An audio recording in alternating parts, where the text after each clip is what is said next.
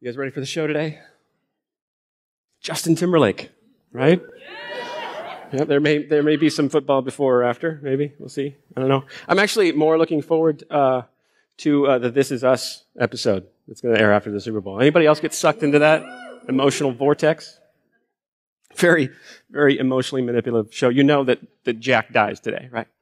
You guys didn't see this coming. Can the kids hear me downstairs? Do you know? Okay, good. Because my son's name is Jack, and I didn't want to be like. It'd be bad. All right. Let's get started. Matthew 22, if you turn there with me, Matthew chapter 22, beginning in verses 34 through 40.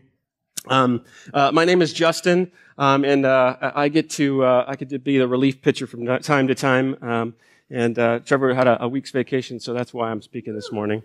Um, and uh, I also get to lead community groups. So uh, if you are not in a community group and maybe you're checking out Oasis and you're trying to figure out who we really are, um, join a community group. Um, you'll really get a feel for, for the pulse of, uh, of this church. And, and I, I, would say that the best way to get involved is get in the pastor's community group. The, the pastor actually hosts one in his house starting this Thursday night at 6.30 p.m. If you really want to find out what, what makes us tick and what we're really, really like, get in the pastor's group.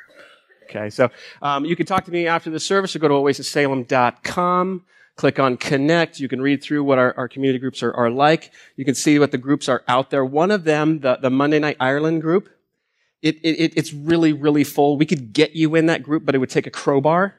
Um, and so uh, maybe sign up for another one. All right. So, um, but if you have any questions about that, please let me know, and, and I'd love to talk to you about that. So Matthew chapter 22, um, 34 through 40. Um, you know, uh, the, the this, this, this uh, message this morning, it kind of originated actually out of a community group time that we had um, a couple of months back. Um, someone in our community group raised the question about prayer. Um, something along the lines of, well, what should we pray or how should we pray? And, and through the, the course of that discussion, we, we, we, we talked a lot about uh, specifically petitionary prayer. Petitionary prayer is where, where we go to God and we're asking God to do something for us. We go to and we're asking Him for something. And and so we talked about, you know, does God hear our prayers? Does God answer our prayers? If he does, you know, how he might answer our prayers. Um, can we change God's mind about things? And, and you got to understand that when you're sitting in, in, in a group of, with a group of people and, and you're with people who have gone to God and asked big things, life and death sort of things, and God hasn't given them what they asked for, that, that, that it's a big deal. Like it's a weighty thing. When we talk about the, the big things about who God is and what God has done, it, it is very, it, well, it's weighty. You know what I mean? And so the course of that night, there, a couple things came out. One is that we didn't actually all see eye to eye, which was okay. Because the other thing that came out of that time was that despite the fact that we didn't see eye to eye, we were still a family. We were still a community. And I think that that shows a, a mark of, of, of, spiritual growth. I think it, it shows a mark of, of you know, of genuine relationship. If you can disagree with somebody and still love them, that, that's real relationship, right? And so, um, since that night, I've been, I've been thinking about it because that was one, actually one of my favorite nights with our community group. Because what I saw in those moments is that there was this people that was gathered together and they were willing to dive into the deep things of who God is to really know God for who he says he is and, and for not for who we would want him to be. And so uh, this morning, what I, what I want to do is I want to lay out some principles about what it looks like to know God for who he is. Right? To, to, to pursue God for who he actually is and, and not for who we would make him out to be. And so I'm going to, I'm going to lay about three principles down about, about how we go about doing that, how we engage with God. But before we get there, I, I want to talk about one, one thing that, that, that's crucial to this whole thing, and it's desire. You, you can't have a relationship with God if you don't want a relationship with God. That it begins with a desire within you to know. All right? So, uh, Matthew chapter 22, I told you guys to turn there like 10 minutes ago. Uh, 22, that's the wrong one. Beginning of verse 34. When the Pharisees heard that he had silenced the Sadducees, they gathered together, and one of them, a lawyer, asked him a question to test him. Teacher, which is the great commandment in the law? And he said to him, You shall love the Lord your God with all your heart, with all your soul, and with all your mind. This is the great and first commandment. With that, I'm going to open us up in prayer. Dear Heavenly Father, Lord, I, uh, I thank you for who you are. I thank you for the fact that uh, you actually want us to know who you are. That you want a relationship with us. That you love us so much. That you have revealed to us who you are. And so this morning, I pray that you would do that once again. I pray that you would speak. I pray that the words that people hear this morning are not mine, but that they're yours, because yours are the only words that change people's lives. In the name of Jesus, I pray. Amen. So, just to sort of set this up a little bit, these Pharisees are very smart religious people. And they come to Jesus to, to pose a question to him because they want to test him because they want to trip him up.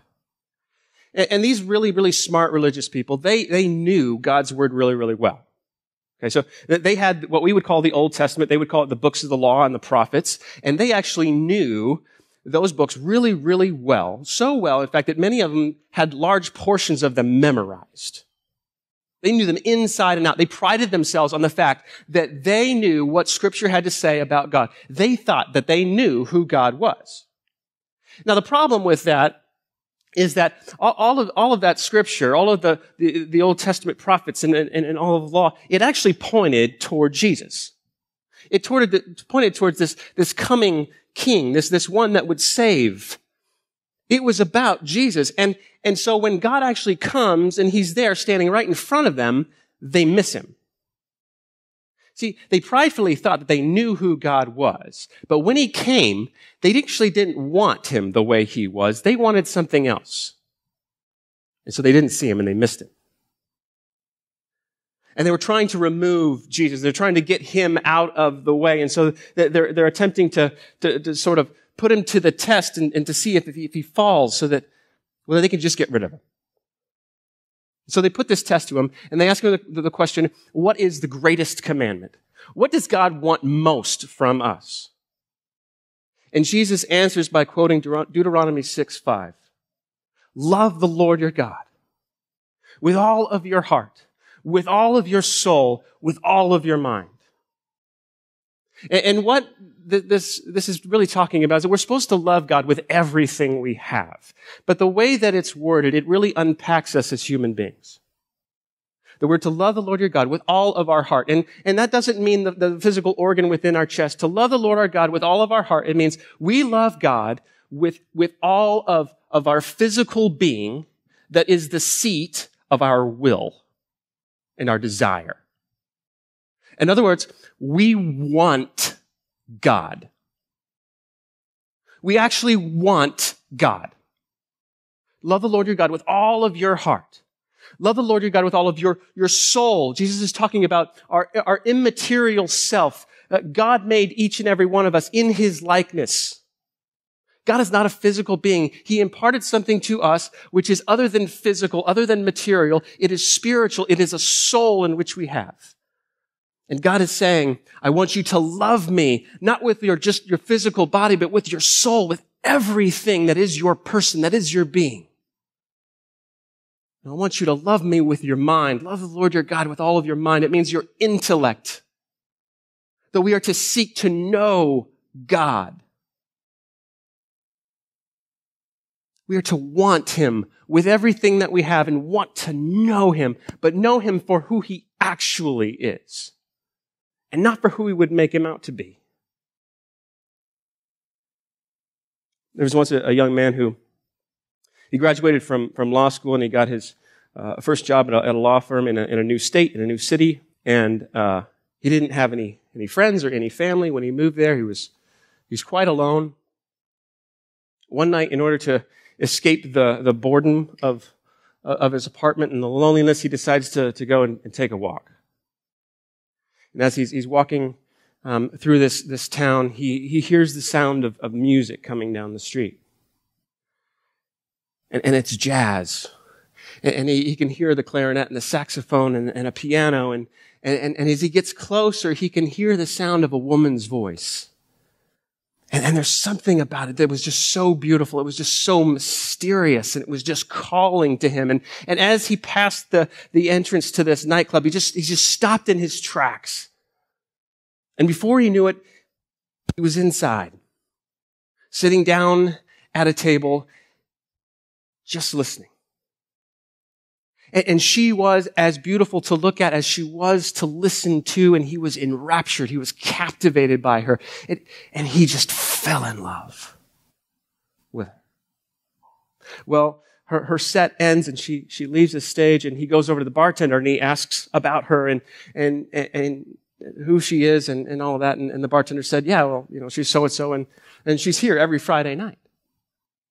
And so the next Friday he's there sitting in the same place, once again, captivated by her. And the Friday after that, and the Friday after that, week after week, month after month, and, and, and she begins to notice him too. Same guy sitting in the same place every week that she's there. And, and so, uh, after one, one night's performance, she gets down from the stage and she walks over to the bartender and she asks about him. Like, is he, is he creepy? Like, is he a barfly? Like, is he, he here every, night? What, what is the story? And the bartender says, well, I, I don't really know, but I know that whenever you're here, he's, he's here. And, and whenever you're not able to make it, he, when he finds out, he leaves. He's here for you. And so uh, the woman decides that the, the next time she sees him, she's going to introduce herself. So sure enough, the next Friday, he's there, sitting in the same place. And, and so after the first set, she gets down from the stage and she walks over to him. She introduces herself to him. And she asks if she can sit down. The man, young man looked at her and, and he smiled and he said, I'm sorry, no. You see, I, I decided a long time ago that if, that if this should happen, I'd, I'd, have to say no. See, if you sit down, then we'll begin to talk. And, and I'll find out about you. And I'll find out about who you are. And, and I'll find out that who you are isn't who I want you to be. You won't be who I, I need you to be. Thank you. I'm sorry. No. And so the woman gets up and she, she walks away feeling rejected that once again another man wants her only for her voice or only for her body or only for what, the, what things she can give to someone, but doesn't actually want her. That seems like an absurd story, right? To, to give up the chance at true love in order to hold on to a fantasy. That's what we do with God, though. I have a, a, lot of friends who, who do not yet know Jesus, who are not Christians yet. It, eh, but of all the, the relationships that I have with people who, who don't know Jesus yet, um, I don't actually, I don't think I know of any atheists. And maybe I run in a circle that's never, not very enlightened or whatever, but I don't think I know any, any atheists, like, like real atheists. Like everybody I know, even though they would say that they don't know Jesus or they don't have a relationship with God or they don't love God, they would say that on some level they believe in, in a God of some form or another. And yet, the, the God that they, they believe in and and maybe it feels safe this way, is that they would choose not to investigate. They would choose rather to not know because maybe ignorance is bliss. But I also know some people who, who would call themselves Christians and who like to come to the club and like to sit in the same spot. And they like to hear from God. And they like to hear people tell them about Him. And they like the idea of God. And they would say, that they even love God. But, but the problem is, is when the God of the universe comes to them and he offers to sit down with them and show them who he really is, they say no.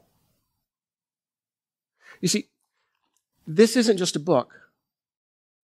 This isn't mere history. This isn't good philosophy or good theology. This is revelation. This is the God of the universe coming to you and saying, I made you in my image. There are many ways in which you are like me, but you're not exactly like me. I'm, I'm higher, I'm bigger, I'm stronger, I'm greater, I'm holier, I'm more righteous than you. And, and, in order for you to actually understand me, I have to translate myself into words you can understand. And I have entered into your history and I have interacted with people over the course of, of thousands of years in order for you to understand who I am. This is revelation. This is me communicating to you. This is me talking to you. And yet so many people would say, I would rather hear it from somebody else than from you. I have a good pastor. He knows who you are. I'll get the information secondhand. I've read some great Christian books. They know who you are. I'll take it secondhand. But you see, if you sit down at this table and if you begin to talk to me, I'm going to find out that you're different than what I want you to be. That you're not who I need you to be. It's like spiritual pornography. See, pornography does this. It takes a human being and it strips away their humanity. It strips away their dignity. It strips away their personhood.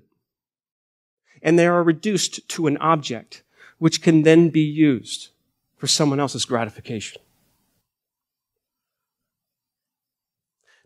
So pornography is, is its fantasy divorced from reality.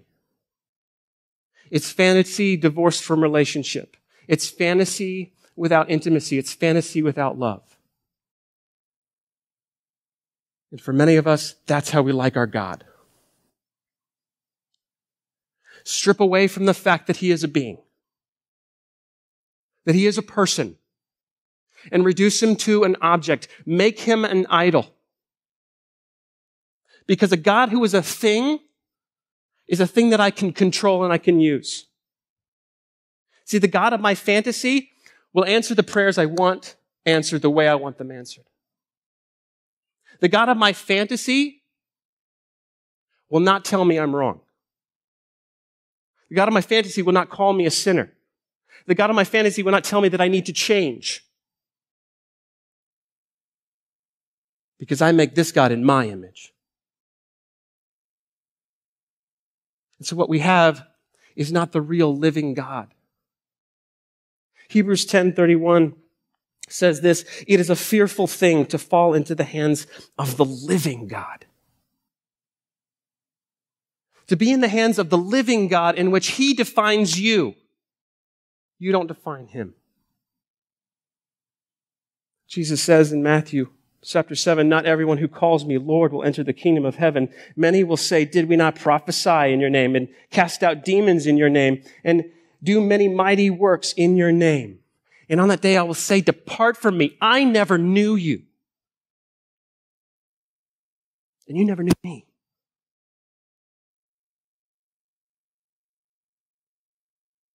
See, if we want a real relationship with a real God, we have to stop believing in a fantasy about Him. And the only way that we're going to know the real God is by engaging with Him through His revelation. So, the, the rest of our time this morning, I want to talk about some basic principles. How do we engage with the living God?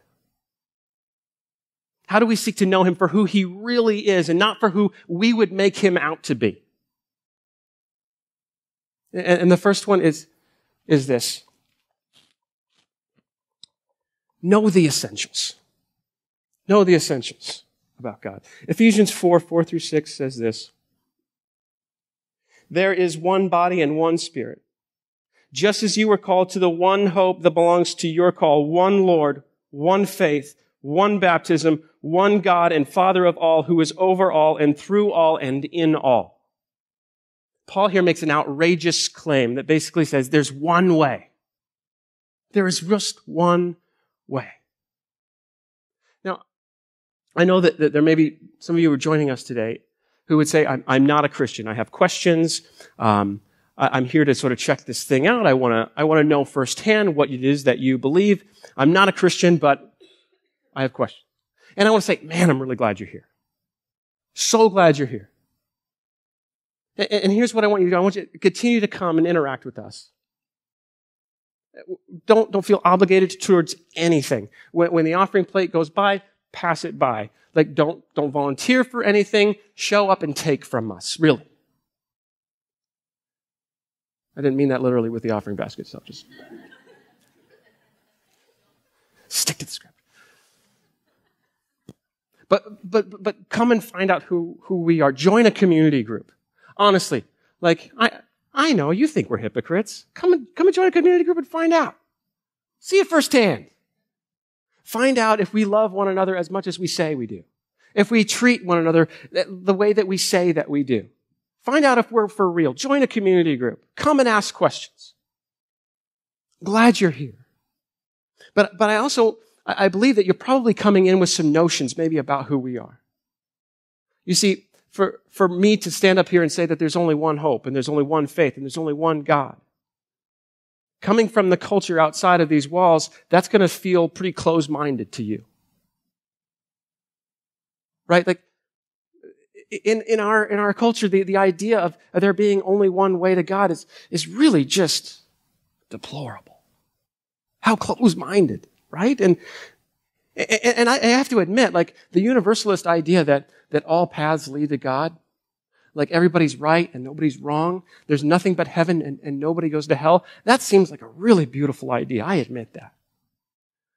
But, but the problem with that is, if, if everybody's right and nobody's wrong, then there's no judgment. See, if there's no judgment, there's no justice. See, for all the victims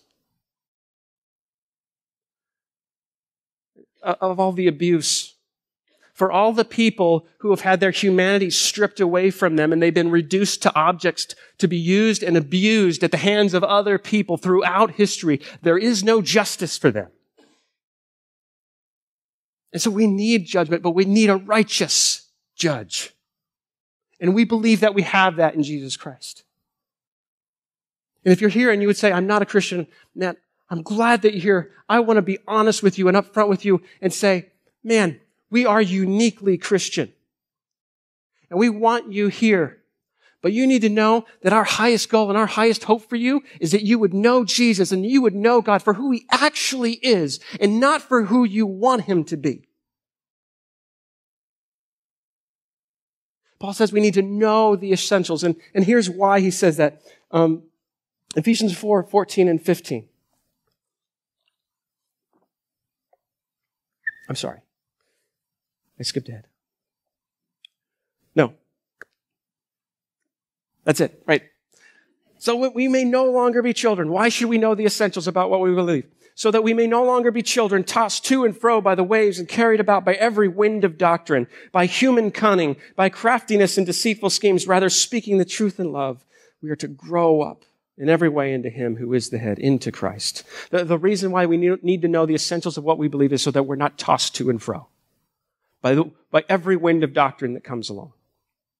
Let's have a little fun.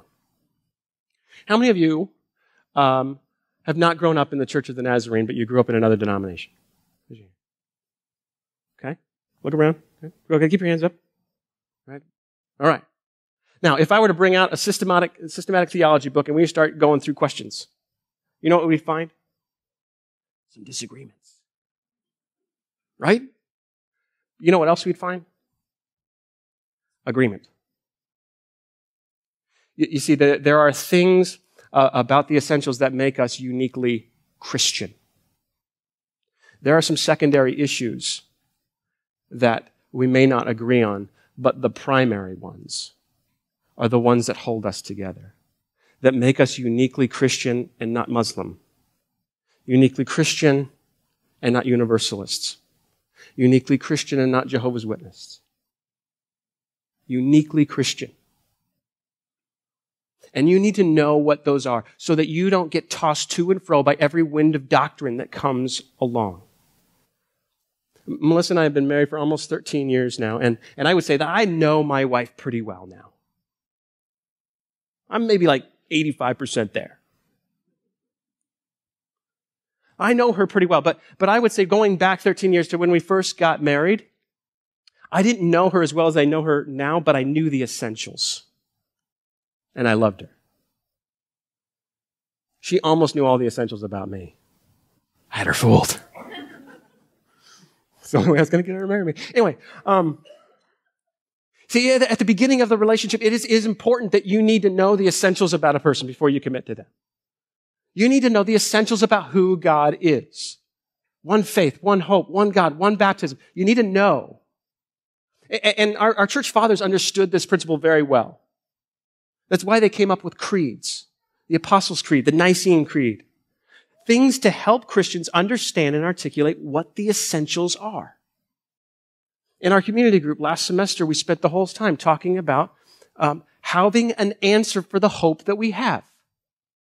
Being able to articulate the gospel. Who God is and what God has done through creation, fall, redemption, restoration. That somebody asks you about the hope you have, you're able to give an answer.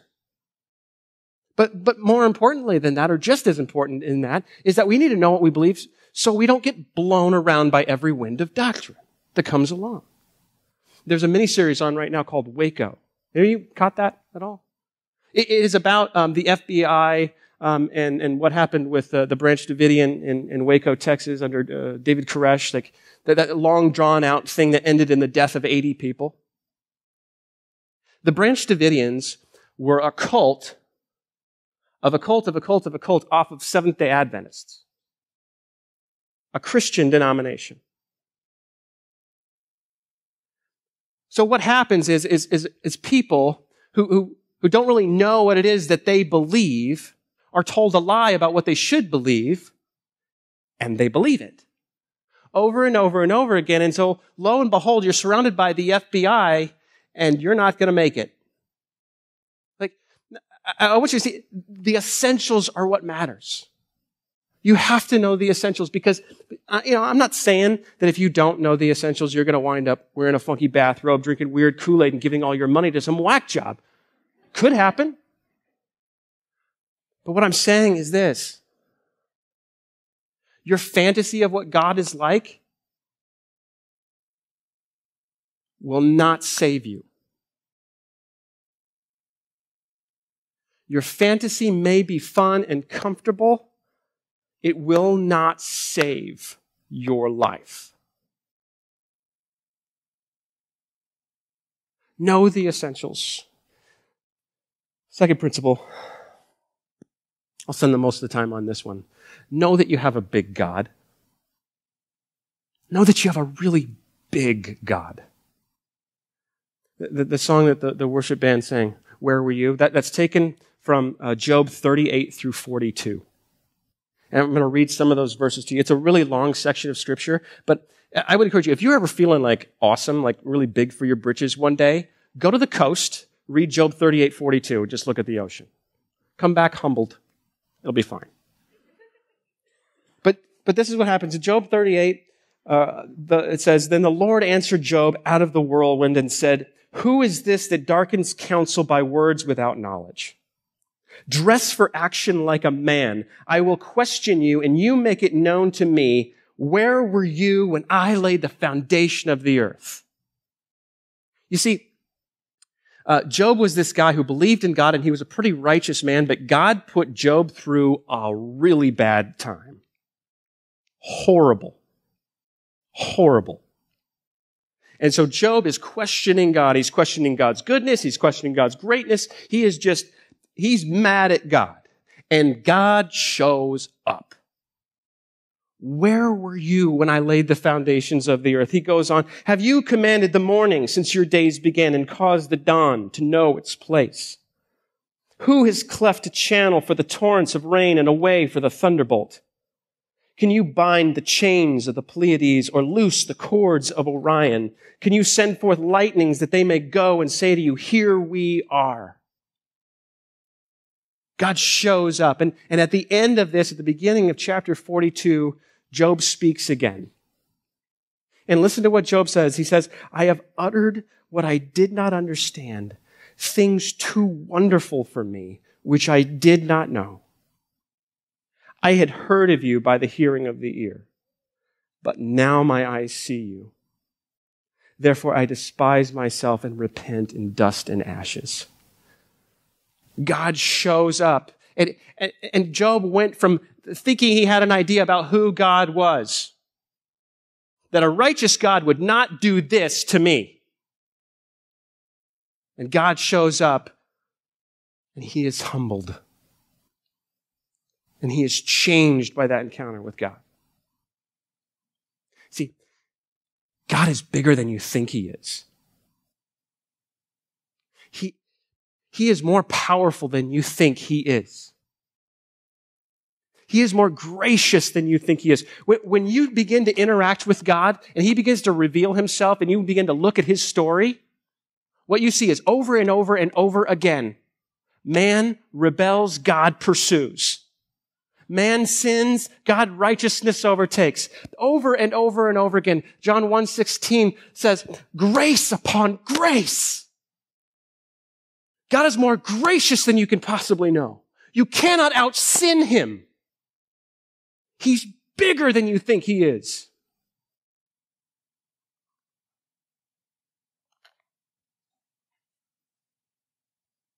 He's bigger.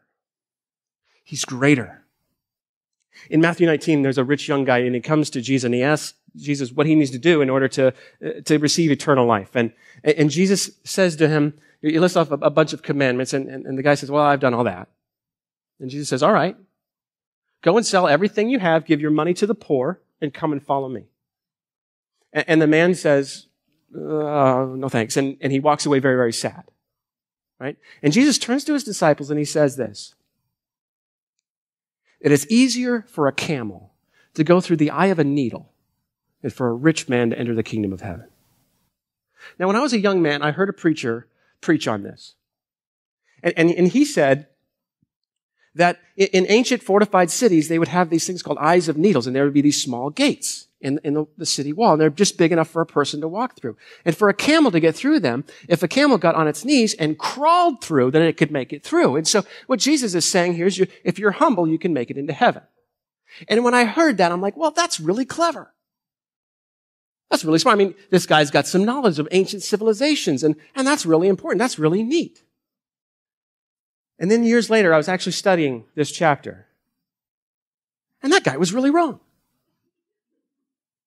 No, what Jesus meant was an actual camel going through an actual needle. It's impossible. And what Jesus is, is, the point that he's making is that it doesn't matter how humble you are. Just so you know, humble is a good thing. God wants that. Humble is a good thing, but you being humble doesn't earn salvation.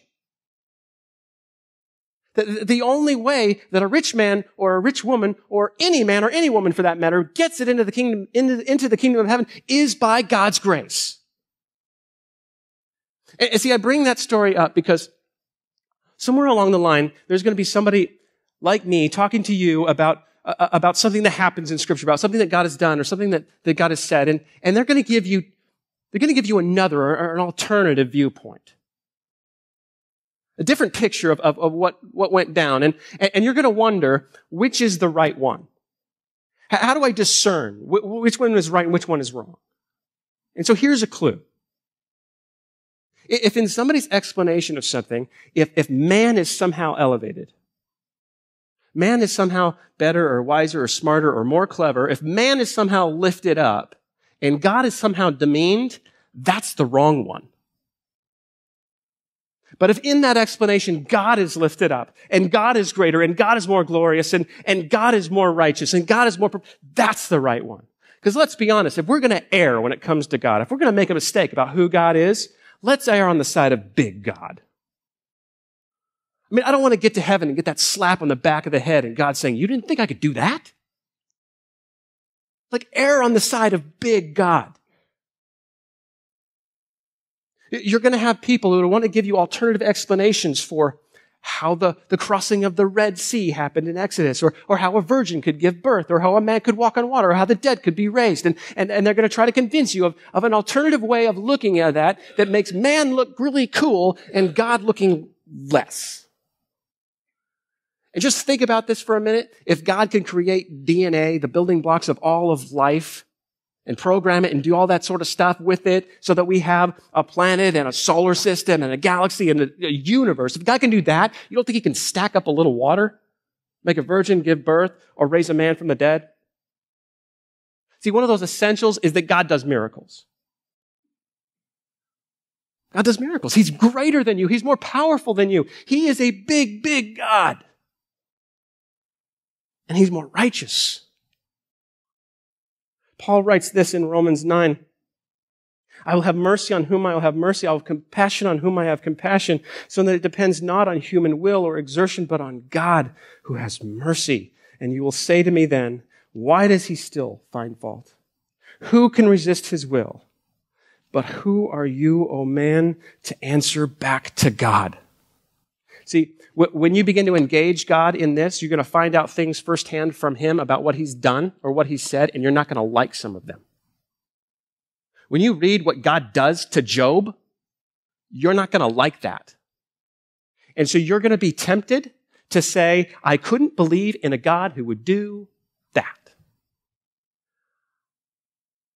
I'll fill in the blank. I'll, I'll, I'll make him do something else.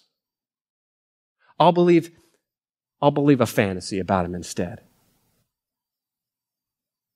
You see, what you do when, when you do that is you take a very, very big and righteous God and you try to stand, just, just put him into your little tiny moral box. And God is more righteous than you. And he's more righteous than me. God is the definition of righteousness. He is righteousness. Believe in a big, God.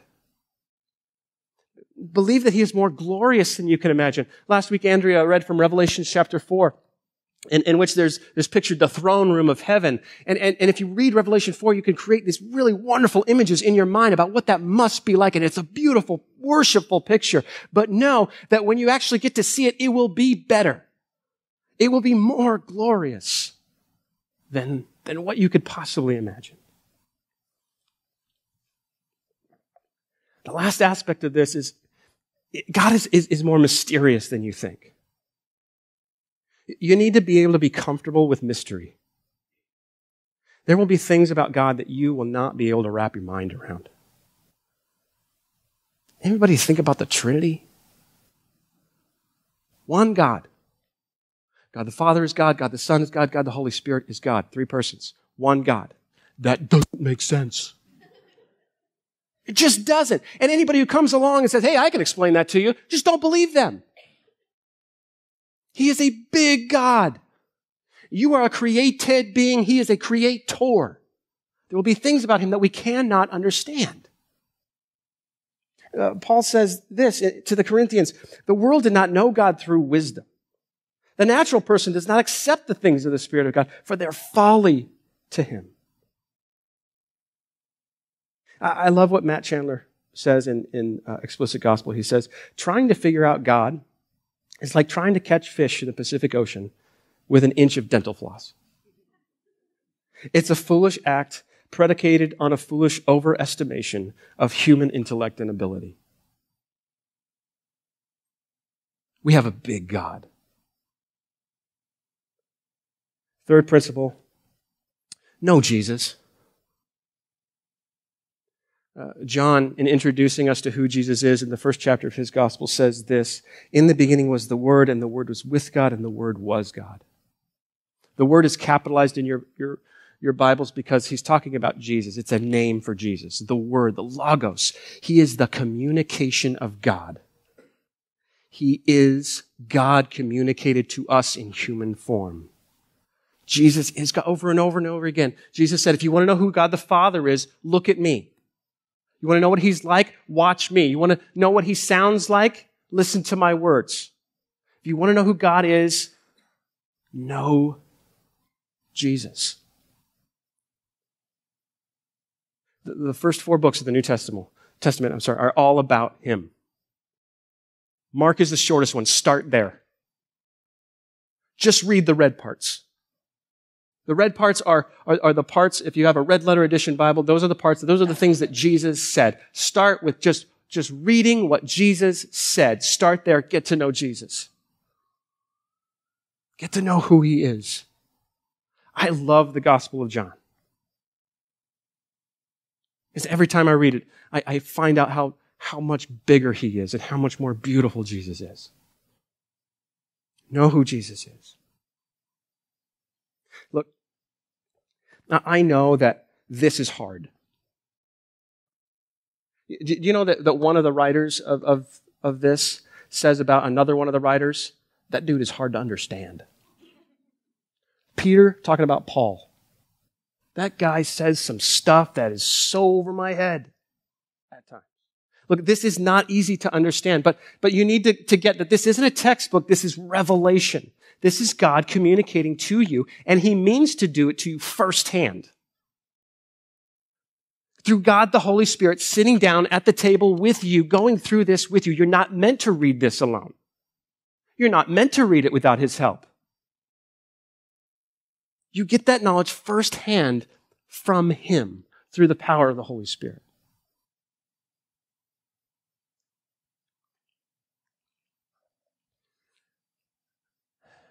Know the essentials of what you believe so you don't get tossed to and fro by winds of doctrinal change, by new, neat ideas about who God is.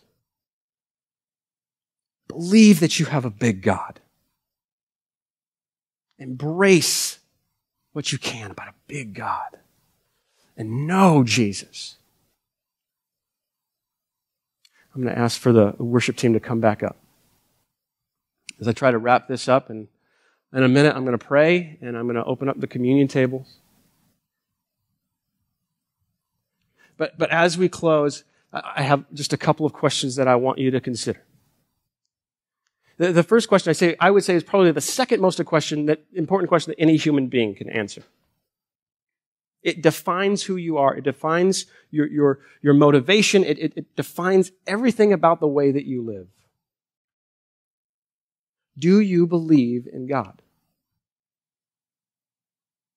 Do you believe in God? And for some of you, that's a very easy question to answer. And for some of you, that's a little bit difficult. But the second question I would say is probably the most important. Is he the God of your fantasies or is he the living God? Do you have a God that you've made in your image? Do you have a God that you can handle? That you can manage?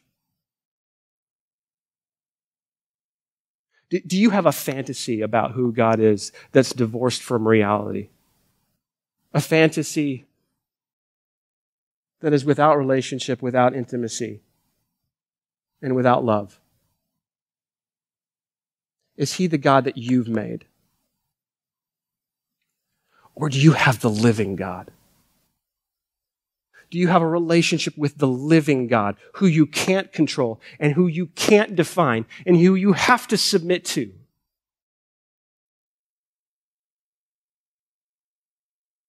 See, the thing is, is, is the fantasy, man, that'll make you feel good. But it won't save. It's only the real God that will give you life. And it's the real God, the real relationship that is better. So much better. Any of you know somebody who turned out not to be who you thought they were, but they were better. God is so much better, so much bigger. Like if you're here today and, and you would say, I, I have been living in a fantasy about who God is. I, I believe in a God that I made. I love a God that, that, that I, I made to suit me. But I want the real thing. I want him for who he really, really is. After the service, I'll be up here. If you don't want to talk to me here, if this is a little bit intimidating for you, my name is Justin Morris. Hit me up on Facebook, send me a message. We'll get coffee. The real God saves. Heavenly Father, Lord, uh, how awesome you are, how great you are, how powerful you are. And yet you humble yourself in order for us to know you. You come to us because we can't come to you. You communicate to us in our language because we can't communicate to you in yours. You sent us, Jesus, to show us who you are in order to pay the penalty for our sin. The sin of, of believing in fantasies, of turning to lies about who you are and what you've done. And he comes and he willingly takes the price for that in his flesh on that cross. But your story doesn't end there because you raised him from the dead, and through him conquering death, we can conquer death through too. And through him, we can be reconciled to you. To have a, an eternity where we get to know you face to face for who you actually are. And we believe that you are so much better, so much bigger, so much more powerful than we could possibly imagine. We love you, God. In the name of Jesus, we pray. Amen. As you come for communion this morning, my hope for you is that this, this would not be about tradition or that this would not be about doing something because you do it that as you come to, to partake of, of, of this body that's been broken for you, of this symbol of the blood that's been shed for you, that as you reach out your hands for this, this would be an act of desire for you. That you would want Jesus as much as he wants you.